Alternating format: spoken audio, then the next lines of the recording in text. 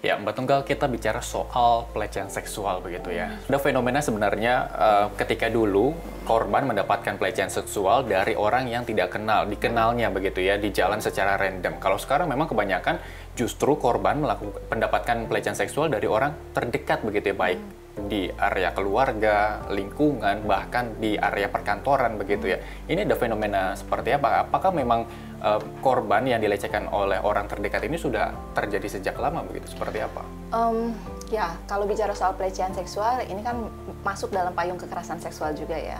Dan kalau bicara soal data kekerasan seksual di Indonesia, sebenarnya polanya sama dari tahun ke tahun pelaku paling banyak itu dari keluarga terdekat atau maksudnya dari lingkungan terdekat bisa keluarga tadi atau teman kantor atau uh, di sekolah gitu ya uh, guru kepada muridnya atau orang tua kepada anaknya atau keluarga apa keluarga yang lain. Namun itu juga tidak menafikan bahwa juga banyak korban-korban uh, yang mendapatkan pelecehan seksual yang terjadi secara random. Kita kan tahu kasus-kasus belakangan seperti misalkan uh, pelecehan seksual di transportasi publik yeah. begitu ya atau pelecehan seksual yang ada di ketika dia lagi jalan terus tiba-tiba dicolek uh, maaf payudaranya gitu oleh uh, pelaku kita mengenalnya sebagai begal payudara. payudara. Hmm. Nah, itu juga terjadi uh, tapi memang dibandingkan jumlahnya kalau dilihat polanya masih lebih banyak yang dilakukan oleh orang terdekat. Baik, kita lihat soal perjuangan mereka begitu ya. Korban ketika ingin atau mempunyai hasrat untuk melapor begitu. Ada perbedaan nggak ketika mereka sebagai korban pelakunya adalah orang terdekat dengan mereka sebagai korban pelakunya orang tidak dikenal? Semua korban pasti pertama shock. Mereka terkejut ketika mendapatkan kekerasan seksual atau pelecehan seksual. Um, namun kemampuan emosional uh, korban berbeda-beda. Ada yang bisa segera melaporkannya, namun ada juga yang tidak cukup punya keberanian untuk melaporkannya secara langsung. Biasanya kalau pelakunya dari orang terdekat, uh, korban lebih merasa takut untuk melaporkan. Biasanya nggak percaya bahwa ini terjadi uh, dan ia alami dari orang yang ia percaya betul gitu. Nah, jadi biasanya dia butuh waktu lebih lama tuh untuk mencerna apa sih sebenarnya yang terjadi. Ini bener nggak sih? Ini dia melakukan pelecehan seksual kan gitu. Dan secara psikologis kan merasa benar-benar akhirnya terancam ya. Banyak sekali resiko dan konsekuensi ketika dia melaporkan kasusnya. Karena misalkan kalau dia eh, mendapatkan perlakuan kekerasan seksual atau pelecehan seksual dari bosnya atau atasannya, maka bukan hanya malu nanti diketahui teman-teman yang lain, hmm. tapi juga soal kehilangan pekerjaan atau ketika di sekolah gitu ya takut nanti teman-temannya tahu, tapi juga takut dikeluarkan dari sekolah, eh, hal-hal seperti itu. Dan kita tahu kita masih punya budaya apa menyalahkan korban yang cukup tinggi.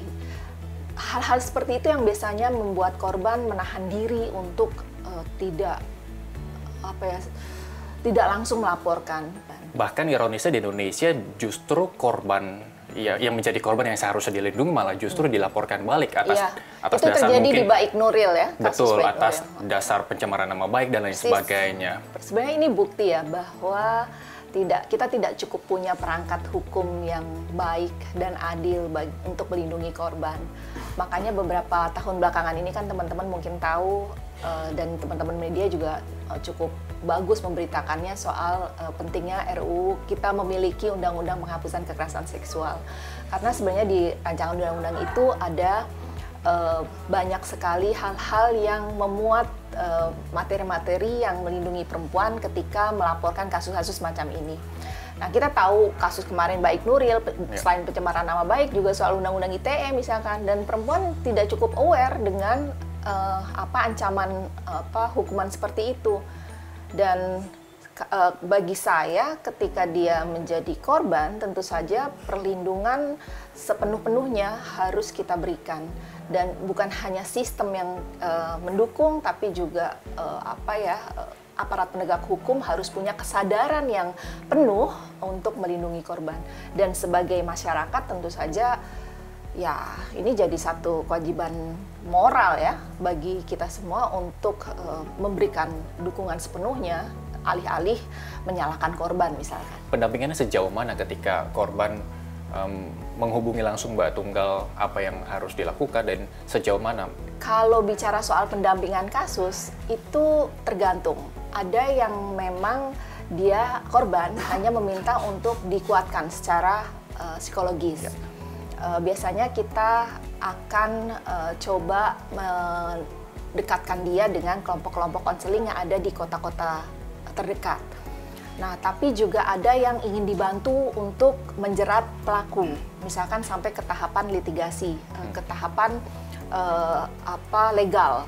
Nah, itu kalau sudah sampai ke tahapan legal, maka uh, kita akan juga bekerja sama dengan lembaga bantuan hukum di level uh, lokal, ya. gitu ya. Uh, tapi yang pasti kita harus memastikan bahwa korban mendapatkan perlindungan yang maksimal. Tapi kan sebenarnya ini jadi tugas salah satu tugas pemerintah ya. Kalau yeah. kelompok masyarakat sipil kan sifatnya hanya membantu mengatasi gap uh, yang belum yang mungkin belum dijangkau oleh pemerintah.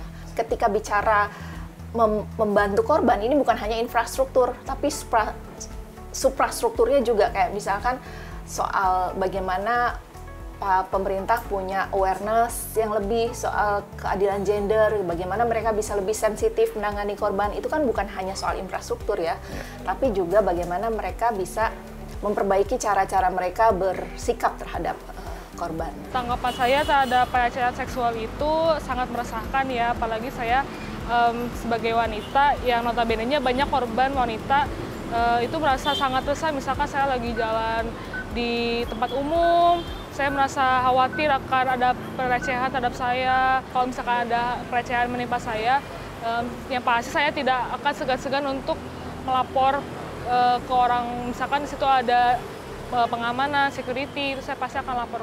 Miris sih mas, miris sangat uh, tidak beretika lah ya kan, di depan umum gitu kan.